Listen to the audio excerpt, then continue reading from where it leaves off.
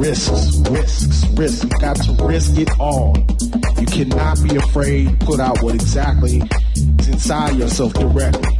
You know, when you get outside of that idea of I'm making this kind of music, I'm making this kind of music, I'm making that kind of music, then all of that changes.